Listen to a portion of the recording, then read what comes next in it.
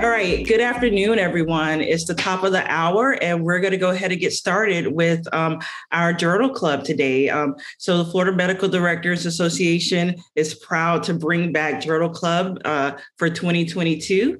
Uh, thank you for allowing us to take a brief break and unaware that it was going to be a surge with another wave of a different variant, um, Omicron, which we're going to talk about. So today, in thinking about where we go and how how we have these conversations.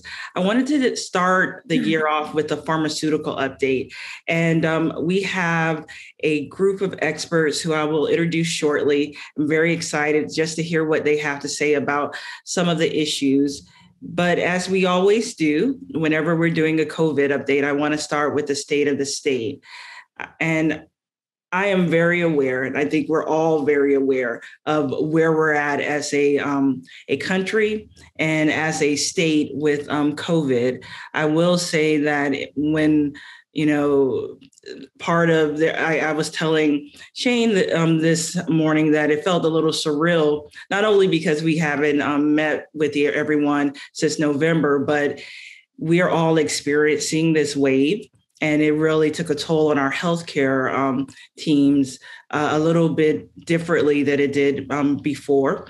Um, knowing that I that we couldn't get labs not only drawn because the the lab techs were out, can't get an X-ray done because the radiology techs are are out. Um, having trouble um, staffing our building because there's so much turnover in having our physicians and our nurse practitioners, our physician assistants out of the buildings, our pharmacists out of the buildings, it's been a little bit more um, challenging. And I've seen it from every aspect. I think um, um, every one of my associates either they had a breakthrough infection with COVID um, or they were being quarantined because they were exposed. So I think we're all feeling this a little bit differently when we look though at the um, level of community transmission, you know, Omicron tends to be um, highly transmissible, and we're seeing that still across the country. This is um, this was last updated um, on Monday, January 17th, and this is from the CDC. So we still see a high um, transmission rate throughout um, the country, throughout Florida. It is it is getting better. And when we look at um, where the, the forecasting is going, we do see that in the next um, few weeks, we're anticipating that the numbers will uh, drop as far as new cases in the state of Florida, as well as across the country but what does that mean for nursing homes? So I was looking at some nursing home data that we have, and um, this again is from um, the National Healthcare Safety Network, which has their dashboards um, right there on the CDC's um, site. And when we're looking at how we um, are seeing the the the transmission amongst our, our residents, it is important to note that that green line that you see at the bottom represents those nursing home residents who have had a booster. So we do see breakthrough infections with those who've been vaccinated with this variant. We see, um, of course, those who are unvaccinated having um, a significant um, rise in infections. But I, I do want to appreciate the fact that with that booster, um, um, that those case rates is 10 times lower among the, those groups. When we look at it a little bit further, though, uh, one concern that I had was that in Florida, when we're looking at residents who have been boosted, we're still, um, as of um, the week of the 9th of January, we still see that that rate is um, a lot lower than we would like at 46.3%. When we go and look at what's happening with our um, staff, that um, those boosted rates are even lower. So we're seeing um, somewhere around, I believe, 20.3% of the staff, as reported through the 9th of um, January, being boosted in the nursing home. So it, it, there is a lot of work that we still have to do. There are a lot of things that we still have to educate our staff on, and we're, we're still seeing those challenges. But as I said, where I wanted to start today was to really dive in and um, talk about some of the the things that we have going on in the pharmaceutical um, space because that's where a lot of encouraging news is is um, at, in my opinion, and having gone through uh, the wave that we're still um, riding with um, the variant, having had uh, COVID really collide into our home and and um, and see how that is with all the breakthrough infections. I'm one thing that gave me hope was seeing uh, the the pharmaceuticals and and um, trying to understand what this is all mean. I think there's a lot of questions around um, vaccinations and um, fourth shots and boosters in the future, as well as um, still challenges with monoclonal antibodies. So that's where we're going to go. And I want to introduce our panel because I'm very excited. And then um, I'm going to stop sharing so that we can all get on the screen. Uh, let's do that first. All right. So tell me when you can see. Yes, perfect. Everybody's here. So first, I'm going to introduce Corey Bishop. She's an, effect, an infusion nurse specialist for Omnicare Pharmacy Services. She serves as the National Director of Infusion Nursing for Omnicare Infusion Services for the past 15 years and holds national certifications in both infusion therapy and rehab nursing. Um, Corey, I'm going to stop there because I could keep reading your bio for days. Um, Ginny Hoar is the clinical manager for the southern half of Florida for Omnicare, a CVS health company, has worked in long-term care industry for 20 years. As clinical manager, she is responsible for overseeing the clinical um, services.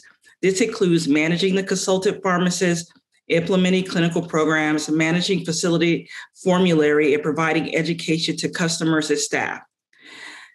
And then um, Terry O'Shea Terry, your bio is huge too. He attended the University of Cincinnati College of Pharmacy, where he graduated with a Bachelor of Science in Pharmacy degree in 87 and a Doctor of Pharmacy degree in 92. And he is currently the Director of Consultant Performance for Omnicare, a CVS health company. So I want to welcome all three of you here with us. And I know Corey and, and Ginny, you've been here before. Terry, we're all on first name basis. So I'm Diane, everyone is on a first name basis.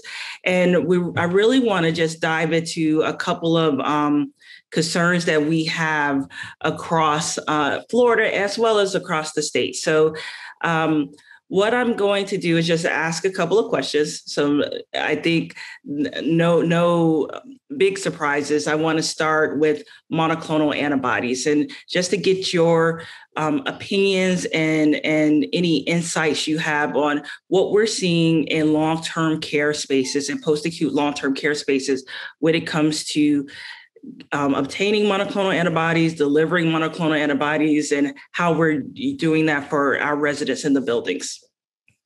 And that's an open question to whomever wants to take it. Thanks, Diane. This is Corey. I'll take it.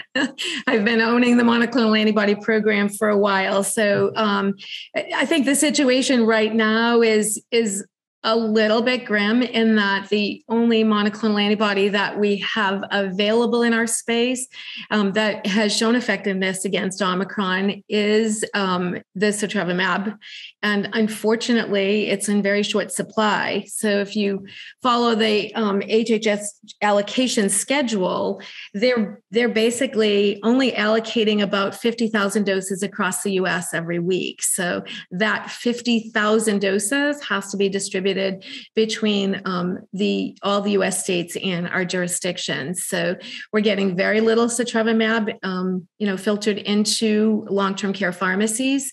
We continue to work with the states, and I, I know that my my other partners are working with the states to increase the allocation of monoclonal antibody to the long-term care space. But um, you know, that's why there there just isn't enough of it to go around and we did see um, Evusheld that uh, received an EUA. However, Evusheld is being reserved for the severely immunocompromised, and the lion's share of that product went to hospitals um, and tertiary care centers for treating patients, you know, that have are on chemotherapy or can't get vaccinated. So again, really, really limited supply.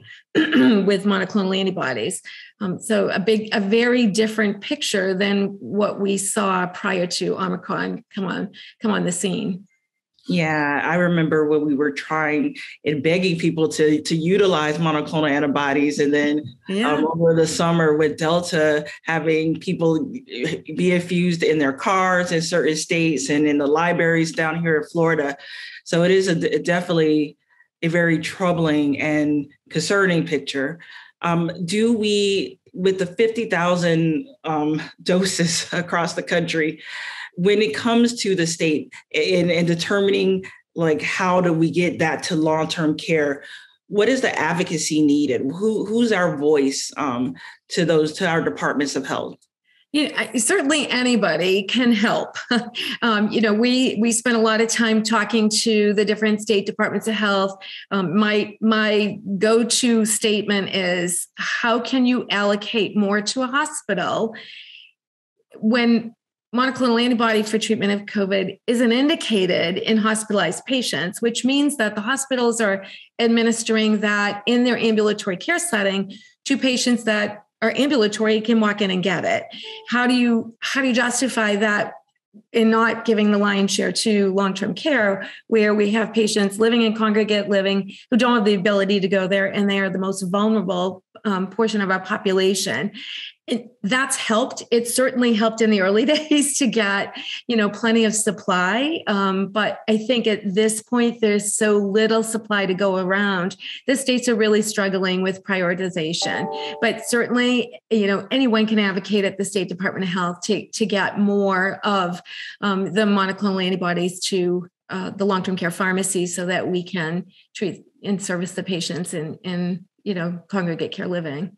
Yeah. And I'm just curious to know, and, and it's okay if you don't have an answer, but in thinking about the future, what's next, you know, after we get over this, you know, the forecasting is projected that we're going to start seeing less cases by mid February.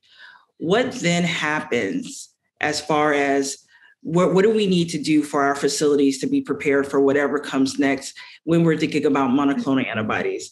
Um, is it then that we i don't know what will happen with the allocation i don't know what the what's gonna what's gonna be decided but what do we do to start preparing for whatever is next yeah, that's a great question, Diane. Thanks for asking. I mean, I think some of the things that we need to do is is make sure that our facilities have the capability to administer.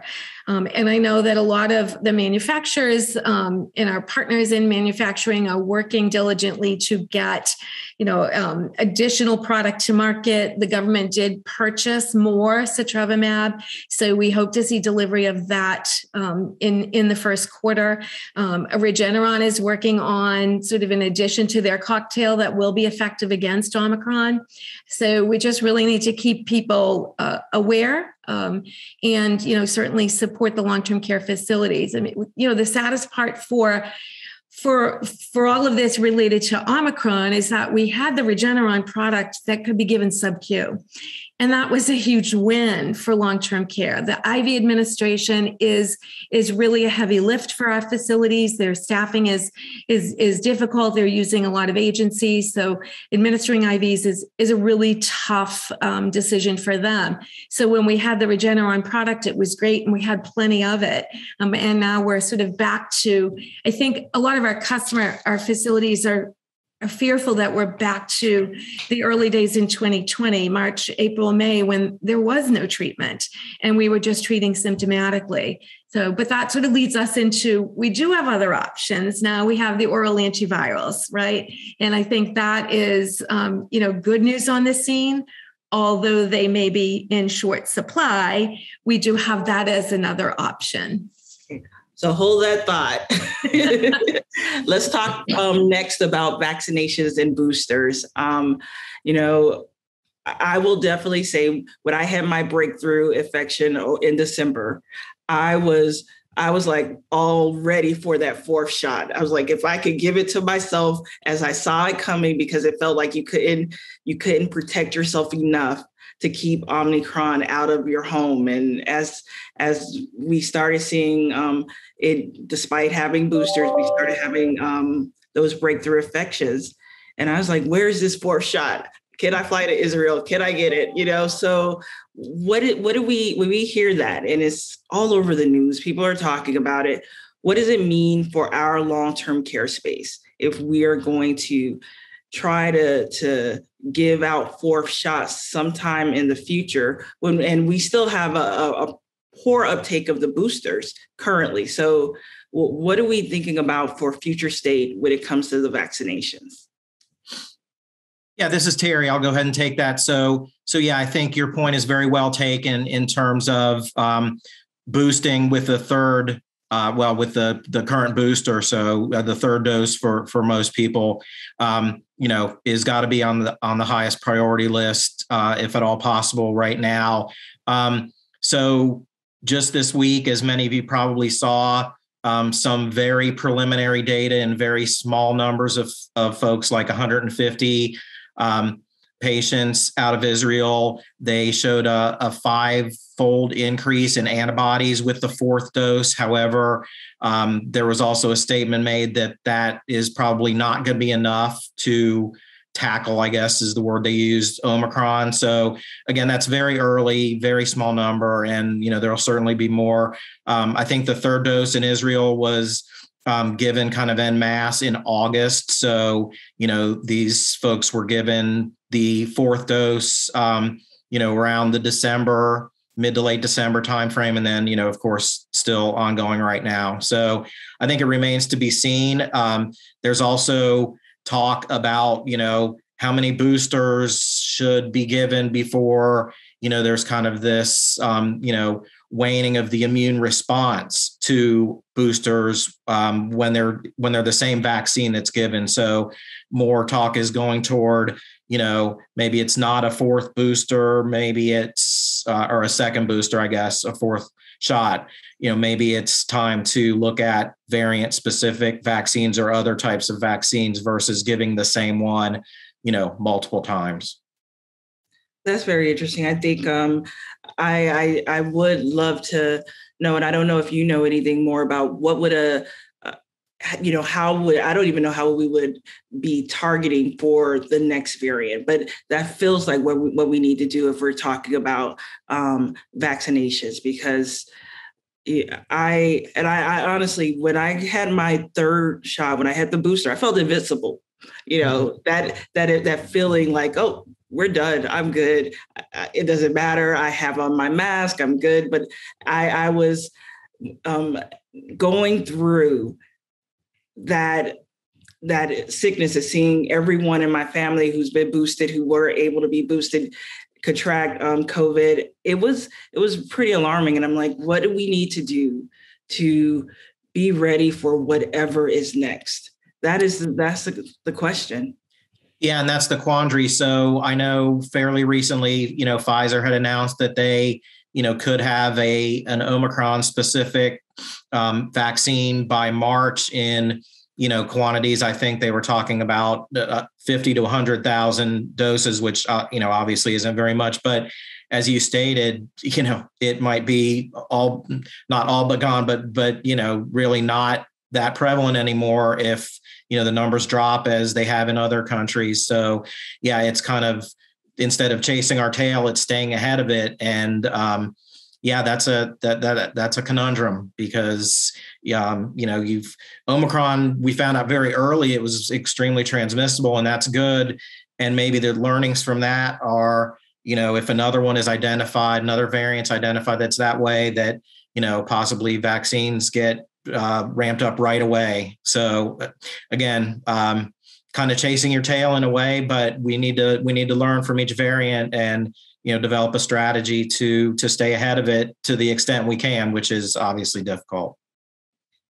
Good good. I know that um, the point was made that we now have medications real medications that are are further the specific treatment of covid uh, can you talk about what it means to have um, the Pfizer and Merck drugs, um, Paxlovid, um, which is Pfizer, and I hope I say it right, Molnupiravir for um, Merck.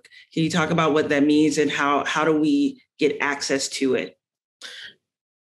Yeah, um, I mean, I think they're they're uh, definitely game changers, um, specifically the Pfizer product, so Paxlovid.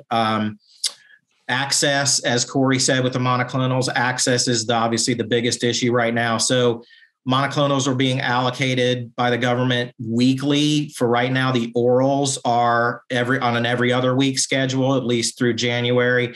And obviously, um, production will be ramped up uh, over the next few months significantly. So, so that's a good thing. But um, you know, just as an example, a hundred thousand courses of Paxlovid are, you know, were sent to the states January 10th. I think uh, the same number is coming out the 24th. Um, Molnupiravir, uh, the medication that, as we know, um, isn't nearly a, as effective as uh, Paxlovid. Unfortunately, is in is in bigger quantities. So the quantities of do, of uh, courses being shipped out are, are around the four hundred thousand um, mark for uh, the two week periods in in January. And again, those will ramp up. So um, but yeah, that it's an issue. A lot of the the courses right now are are being sent to to retail pharmacies and community health centers, and you know that's that's certainly understandable. And that really, I think, is another um, another avenue for uh, to advocate to state health departments that really, you know, long term care facilities are are very um, appropriate populations for these medications as well but you know like the monoclonals just it's a it's a supply issue in in many cases currently. But yeah i do think they're um, especially when you're talking about paxlovid which you know 88% reduction in hospitalizations um, per their clinical trials very very significant. Um, it does have some baggage but five days too so it's, it's a lot different than um, uh, what merck's um, met pill is offering too you know that pill burden is something that I worry about when you're thinking about adding another medication. So um, the sure. Paxlovid does seem like a more favorable choice. Yeah, absolutely. Um, unfortunately, it's the oral agent with the most baggage, if you will, in terms of our population.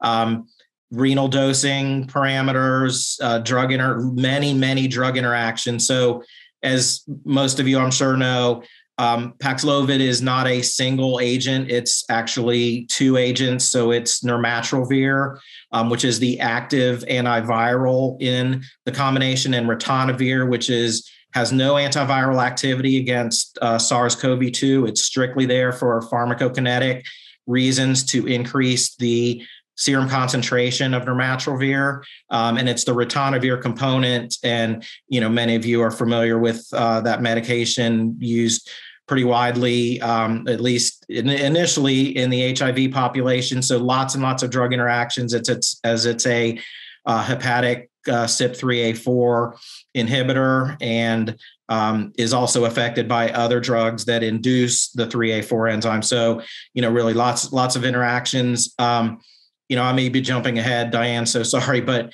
one one really important thing for for prescribers to know is that um, so there are some renal dosing parameters. So those with a uh, GFR between 30 and 60, essentially, they would have a reduced dose. They would only be getting one tablet of the nirmatrelvir twice a day instead of two.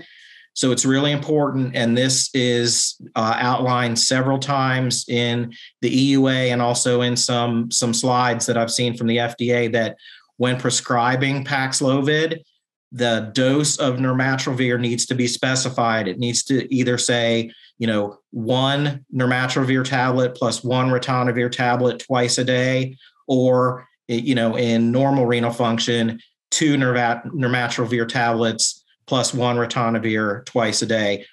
Alternatively, it could be, you know, 300 milligrams nirmatrelvir plus one ritonavir twice a day. So that would be the full dose and or 150 milligram nirmatrelvir. So it's really important based on the knowledge of the renal function to specify the dose of nirmatrelvir. Um, and then, of course, it is also um, not recommended for use in those with a EGFR of less than 30. So sorry, I rambled there. Oh no, you're you were good, and that was a, a question. So I, I, we do have a question in the chat, and maybe you could help us with it. Um, are we seeing any reasons to not give this medication.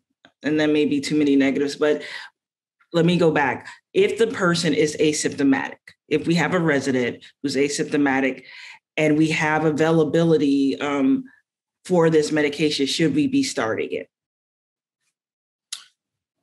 I would say I would say currently, I mean it's it's obviously a, it's a risk benefit decision. Is this person really at you know very at this point? I would say are they at very high risk for disease progression? Again, we're talking January nineteenth here, where there is is really limited supply.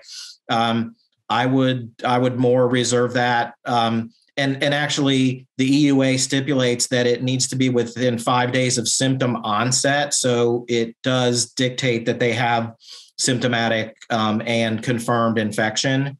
So yeah, I I don't believe uh, at this point, and certainly by what the EUA says, it's indicated for the asymptomatic population. Thank you for that. And if we're in a state, let's say, um, a hundred thousand were sit, um, you said across the country, right? 100,000 doses. 100,000 co- 100,000 courses of therapy, yes. Yeah. For for Paxlovid. So how do we in the um, how are our long-term care pharmacies um, expected to advocate for distribution to them when it's going to retail pharmacies what do we need to do to um, for for that advocacy so that we can get this medication distributed to us as well as um, maybe some of these retail um, pharmacies. Sure. Yeah. Sure. Uh, you know, I think as it, as Corey had suggested, um, you all know your state contacts, and maybe it's worth, and uh, maybe you've done this already, but you know, maybe it's worth uh, getting on a call with them, some representatives from um, FMDA as well as the Florida chapter of ASCP, um, you know, I wouldn't have 40 people on the phone, but you know, just a, a kind of a small contingent of leaders and and really advocate for, you know, especially in light of that there will be increasing quantities available in the months ahead. And really um, you know, this is this is one of the the ripest, if you will, populations uh, for the, you know, these, I'll say these agents, you know, um, molnupiravir, it's um, it's markedly less effective, at least in the clinical trial, than Paxlovid. Yet um, it's in greater supply. So you know, I guess I would I would take um, thirty percent efficacy versus not being able to give anything. So it, it's kind of in the in the hierarchy that the NIH, uh, uh, the treatment hierarchy, um, it's actually it's actually last, but um, you know, given availability of the other agents, it might be the only agent available. And really, you know, for our populations, it's um, I don't want to say it's it's clean. It's um, it's not got drug interactions, contraindications. Um, for really for our population, the the big worry obviously is um, folks of uh, women of childbearing potential and um, you know sexually active males um, with um, partners of childbearing potential. Uh, it, it, seems clean because there's no interactions listed and really no contraindications. Uh, that's that's because there weren't any identified uh, really. So again, a relatively small study. Um, as more use comes out, there'll be more information about potential drug interactions and things. It's just um, Paxlovid was studied more extensively, uh, looking at that obviously because of the ritonavir component. Um, and then, you know, they also did an actual pharmacokinetic study to look at the renal uh, dosing issue where, um, you know, Merck did not do that, at least to date. Yeah, and I, I was asked the question um, privately outside of um, this meeting about our staff and should we just be trying to advocate for having this on hand so that if our staff is sick, we are able to treat them and get them the treatment that they need so that we can bring them back into um, to work sooner. I don't know if you um, have had any discussions or any thoughts about um, that. Uh, I, am just curious, you know, to pick your brain. sure. I mean, uh, yeah, it's it's obviously it's obviously a concern. Um, I would say eh, where we are now, it's really not an option just because of the scarcity. Um, certainly over time, it's uh, something that might be worth thinking about. I I don't know that I'd advocate for you know putting it in emergency kits necessarily. Um, just again, it, we might come to that when there's uh, pretty widespread availability, but but not currently. Um, again, yeah, r- risk benefit in in many cases, the the higher risk population is going to be the residents uh, versus the staff. But uh, I obviously see the need and the concern for that, and we'll get to that, I believe, um, but just not not currently. Thank you. I also I wanted to know, and um, I'll open this up for everyone.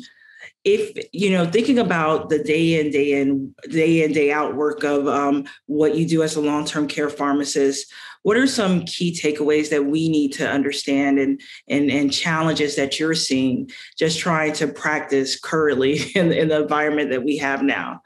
And maybe I can start with Ginny because I haven't gotten her voice in yet. no, I brought the experts with me today. Um, I think you have a, ve- a very valid point, and I was sitting here thinking when Terry and Corey were talking that this is a great opportunity for that interdisciplinary team to really work together in our long-term care setting. Things change daily, and it's really, really hard to keep up on what agents are available, what's the proper dose, how do I get access to it, and so making sure the consultant pharmacists are communicating with the medical directors, the directors of nursing, the nurses themselves, and vice versa, so that everybody is on the same page. So that when you have a patient who needs treatment, you know, we know what's available and um, you know the resources that you can reach out to. The consultant pharmacists are a great resource to provide the creatinine clearance or the GFR for all the patients. I know when flu season rolls around, our whole team um, has been instructed to provide the GFRs, the creatinine clearance of every resident in the facility, so that the facility has that available for dosing. You know, not only these new agents coming up, but um, agents for treating flu also.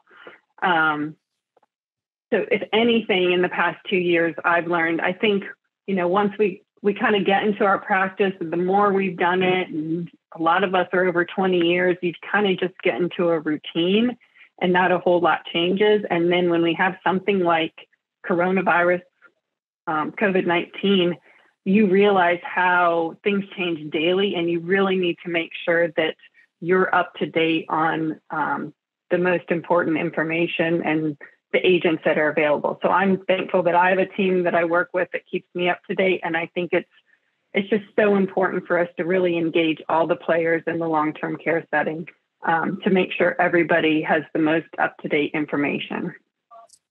Now, are you? Would you say that? Um, like, how's the staffing challenges that we're seeing impacting what you do on a day-to-day basis? You know, I know how it's impacting us and the fact that you may give it an order and the person who you gave that order to, you don't, don't see again because they were agency. Yeah.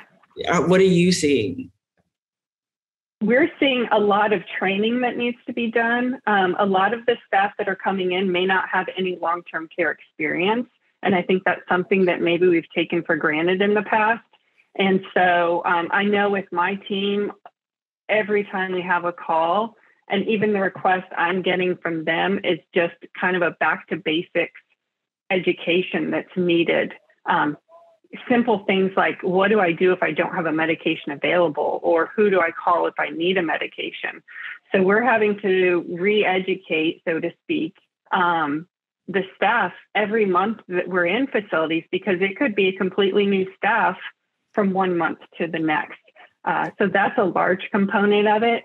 And so you take that and then you add on top of that an ever changing, um, you know, pandemic that's going on. So you're having to educate on that as well. Um, simple things, I, you know, you and I talked yesterday about, um, not to jump, you may ask this question in a minute, but are we seeing long haulers in the nursing home? And I hadn't even thought about it because you know we have a frail geriatric population and those long hauler symptoms how do we differentiate if that's due to covid or if that's just the natural progression of a disease state so we really need to be tuned into um, the patient and looking for signs and symptoms and documenting those. The documentation is super important right now. If nurse A is not going to be here again because she's agency, well, when nurse B comes in, she's going to need excellent documentation so she can know what kind of history this patient has. Because if not, you're just starting over each day. Um, so there's just so many moving parts um, that we just really have to kind of remind ourselves about. Um, and again, it's those basic things like you, whatever you see, you need to put in a note. So somebody following behind you, whether it be a nurse, a physician, a pharmacist, also understands what's going on with the patient. Yeah, and I think it's a um, a great opportunity uh, to to partner with the long term care pharmacy pharmacists in your facilities because to your point about long haulers and what we discussed um, earlier in prep, I think that if you're seeing maybe someone who say they have COPD and maybe they are, you know, they're utilizing medications differently, utilizing um, the PRNs differently. That may be that they've had either a worsening of their condition or something else is happening. And it would be nice to partner and have a conversation and have those discussions. So I'm going to open it up to um, the the the call, I know we have a lot of participants. If you don't um, feel comfortable taking yourself off of mute, you could always enter um, a question into the chat. But definitely want to hear in, from you guys and um, get any questions that we haven't addressed answered. Um, and while you are thinking about your question, I will just keep um, picking everyone's brain because I, I am just curious. Um, what do we, you know? I think in 2020, I was like, okay, what have we learned? And then 2021, I'm like, what have we learned? But for for now, we're we're here, still in the pandemic, still in this moment. What do we need to do um, next? What what do we need to do to make sure we are um, tightly adhered with our long-term care pharmacists in our buildings and and advocating correctly? You know, what would you recommend in, in each of you? I, I, I would love to hear from you.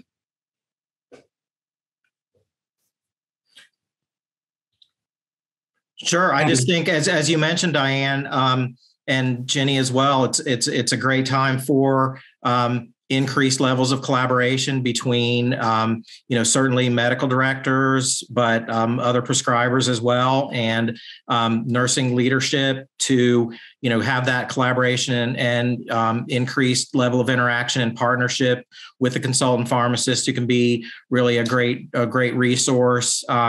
You know four questions that come up regarding potentially regarding access um, regarding uh, potential clinical scenarios that these drugs may be used in. Um, you know one thing that I, I hate to jump the gun and somebody will probably have a question related to this but one thing we haven't uh, really discussed yet is remdesivir which is something that has with the, is a drug that now has made it to the NIH um, treatment guidelines, and certainly Corey is um, capable of speaking to that to a degree. I you know I don't want to stifle questions and take lots of time, but it, it may very well be worth her to just say a few words about remdesivir because it's getting a lot of attention and press right now. So Corey, I, I apologize for putting you on the spot, um, but I know it's uh you know one of your one of the things you're working diligently on currently and it's uh, you know there's a lot of questions and issues around it so maybe you can speak to that and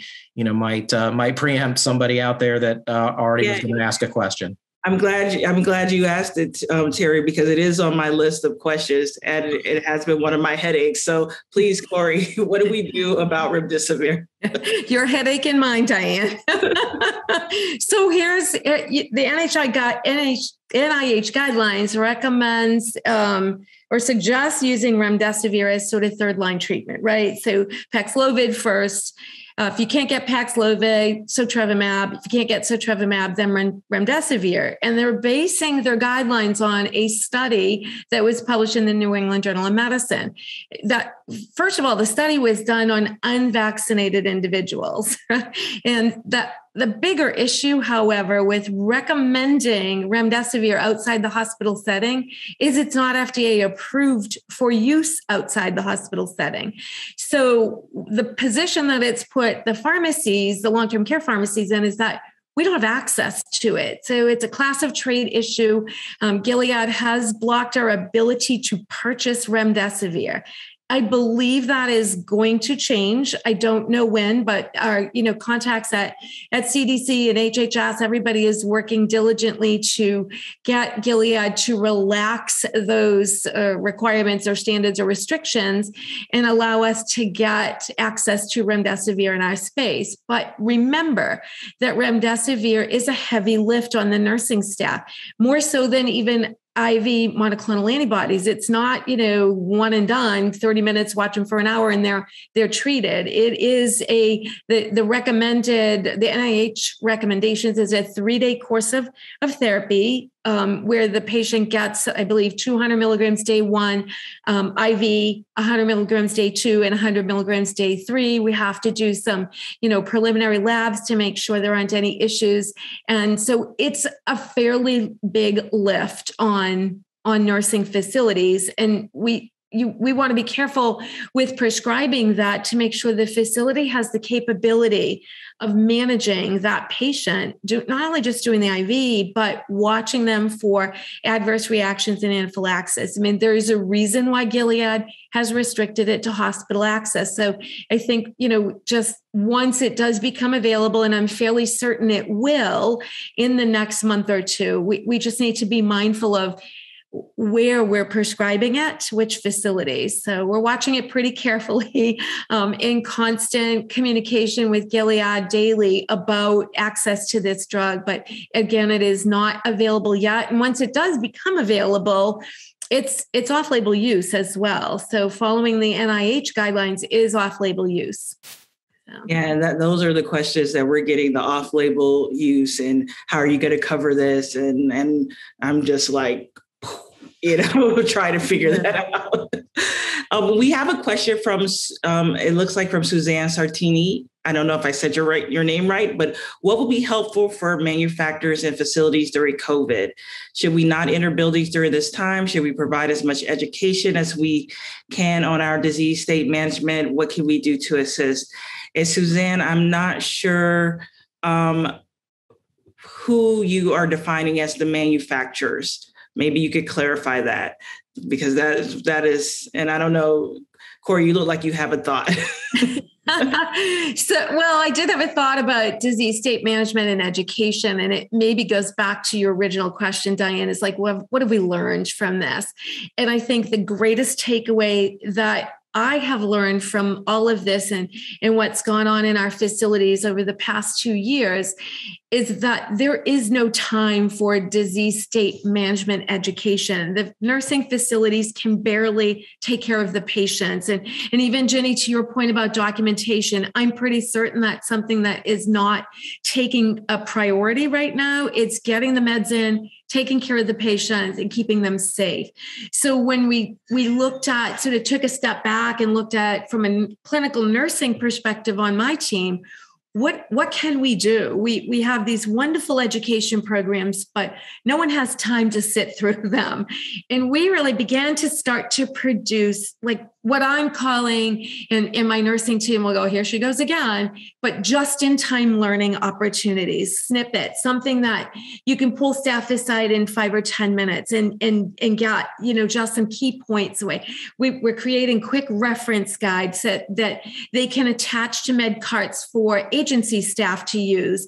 Um, you know, a lot of facilities are like, we would love for the staff to be well educated, but when we're running 75% agency, we can't afford to educate the agency staff. So again, just in time learning, keep it quick, keep it really simple, um, because nobody has time to stand there for or sit through a one hour in service. Um, it really has to be just in time learning. And, and really, we, as when we're in the buildings, we look at any opportunity we can to do a stand up in service with the staff to, to just get the point across quickly and hopefully improve the care that our patients are receiving at this time. That was my key takeaway, Diane. Thank you. Any questions for our panel? Any other thoughts from our panelists? You know, I want to make sure we are we're giving people time to either write their questions or or take themselves off mute. I think you can do that on your own now. Um, so we, we do have that open. Diane, I was just going to mention, I know we have a lot of medical directors and consultant pharmacists on. Um, that may be the one area we haven't seen as much changeover in staff. And so, as far as um, continuity of care, those two categories of uh, practitioners may have a better handle on what the patient used to look like and what they look like now. So I know, you know, as pharmacists, sometimes we may be hesitant to jump in and say, hey, it seems like Mrs. Jones used to require, you know, nebs every now and then, and now she's requiring them routinely four times a day. Is there something going on? And providing that feedback to the other practitioners because we may be the only ones that are seeing yeah. the patient over. Yeah. Yeah. Um, I think that's a great. So just point. something to keep in mind. Yeah, I think that's a great point. I think um, you know when you're thinking about continuity of care and who's who's most familiar, and if you're the attending or the medical director and you have your long-term care pharmacist, I love that point because you may be the only two people who haven't changed in the facility. I also right. think that it, it, it never hurts to build a very close relationship with your long-term care pharmacist. Um, I think I harassed the, the the ones who I work with uh, via text often, but we had you know the best relationships because if I had a, a question or like, can I get this medication? Um, they would know that they were the person who uh, who I could go to. So, uh, to anyone who's in the on this call who may be a clinician to our long-term care pharmacists please um, nurture those relationships. I think that we need to be in harmony with each other and, and, uh, and understand what what is happening with our residents and how we can get in front of it.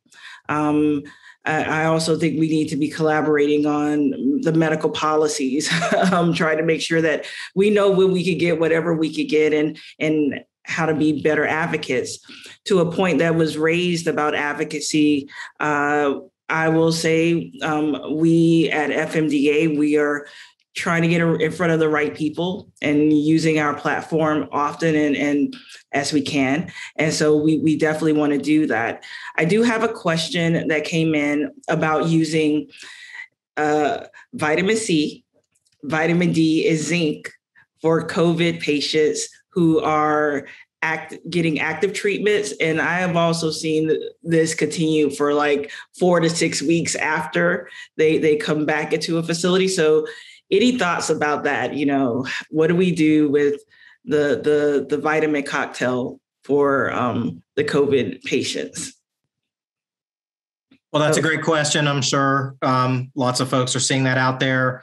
Um, early on in COVID, the more severe cases in many um, instances were identified as being vitamin D deficient. Um, you know, there on any of these agents, there aren't any good, you know, randomized clinical trials. Uh, certainly, um, you know, to to boost the D levels probably isn't necessarily a bad thing. Many of our long term care residents um, are you know in a way deficient. Um, you know i don't know that you go to the the extent of of measuring serum concentrations necessarily. Um, but i you know i don't believe i've seen anything that it's it's a negative. Zinc does have some data behind it not necessarily in covid that it um, you know may may be a preventative for um, viral infection or um, you know help along the course if given early. Um, you know, vitamin C is kind of in there as well as an immune support. Again, not not any really meaty data, if you will, behind all of that. Um, some theoretical and uh, in other you know non SARS-CoV-2 um, indications or, or, viruses, maybe some efficacy, but um, you know something that may may help you know in the short term and just something to remember if they don't you know need it long term we don't want to give medications that um, you know forever if they're not necessarily needed. So just kind of a uh, diligent look over time as to whether those would need to be continued on a longer term basis. Yeah. Have you seen any um, requests for any iv infusion of of um, vitamins in the facility or outside of the facilities? I've certainly heard of that I'm as not- a therapeutic option in hospitals, but Corey, I don't know that we've seen any. Is that right? Yeah, I haven't I haven't seen a request for that in about a year and a half or two years. So I don't think it was COVID related.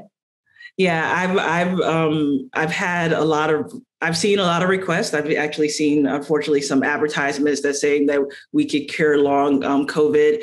Um, my take on all vitamins is that it is another pill uh, you know, so be be aware of that, and, and especially at our frail elderly um, residents, that it, it may not be as benign as you think it is because you're now asking them to take yet another medication on top of what other whatever other polypharmacy. And i have not seen any studies uh, that to terry's point any studies that show really great data and that were well done and shows you know data across a a, a, a, a rather great sample of showing effectiveness or or ch- change in outcomes with some of these medications or um, vitamins and supplements so I think you bring up a really good point, Diane, is is is the polypharmacy.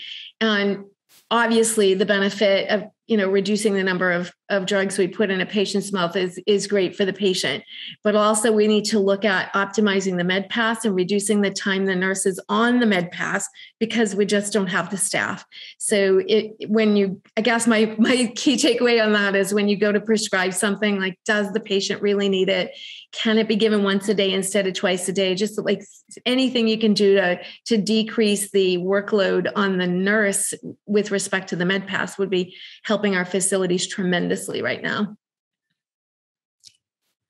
Thank you thank you. So if we have no other questions i just want to thank our panel. You guys have been amazing. This was a great way to start this conversation off this year and um, you know any last words from any of you? I would welcome it at this time. Yeah, Diane, I just I just want to dovetail um, on something but that both Ginny and you said. You know, I I love you use the term you know harass my consultant pharmacists. Um, you know, we we love that we love that type of harassment. And you know, I know you, I know it was tongue in cheek, but please don't feel that way. That's what we're here. That's what we are here for, and that's what you know. Utilize us to the extent you need to. And you know, we've talked a few times about collaboration, and you know, don't want to necessarily continue to to hit that, but um, it is extremely important and something we haven't talked about yet is the information is changing so rapidly, um, you know, especially in the area of, of COVID therapeutics. Um, and and Corey will laugh that whenever she puts out an update on on monoclonals, there's always a statement in there in bold in the communication that says information is changing rapidly. You know, please please make sure that uh, you're in contact with your consultant pharmacist or nurse consultant uh, to make sure you have the most up to date information. But really, that's a way that um, you know medical directors and prescribers can uh, further collaborate with consultant pharmacists. Is that um, you know this uh, this is changing.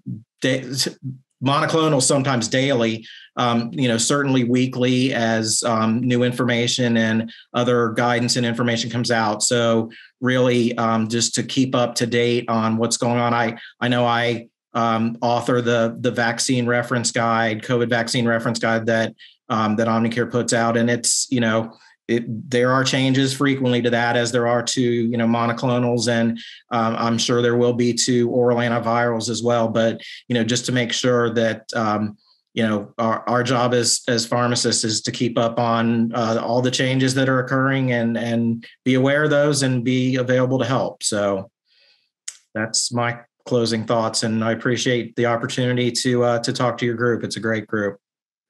Thank you Ginny, Corey, any other thoughts? Well, I'd just like to say thank you for inviting me back. And I think, um, you know, the three of us are happy to come back if there are any um, additional updates regarding COVID therapeutics. We'd be happy to come back. So I invited myself back. yeah, and I just wanted to echo what Corey and Terry said. Thank you so much for having us and um, that partnership I think we need to, as consultant pharmacists, I'll speak for us and say we need to move beyond being paper letter generators um, and really making sure our recommendations are important and impactful and really developing that relationship with the medical director. Um, I have a few facilities still in Florida and I have the medical director's email and anytime, you know, Terry kicks out an amazing update, I share that via email with them. So I would challenge all the other pharmacists to really build that relationship with your prescribers and get to know them. Uh, it's better for you and them and the patient. And it just provides an avenue to share that those updates that we get all the time. So thank you so much for having us and working, you know, bringing these different groups together. We really appreciate it. Thank you. Thank you. Yes email, phone number, text, slide it to a DM, whatever you need to do. Thank you all. Have a great day. And um, we'll talk to you soon. Thank you. Thank you. Thanks.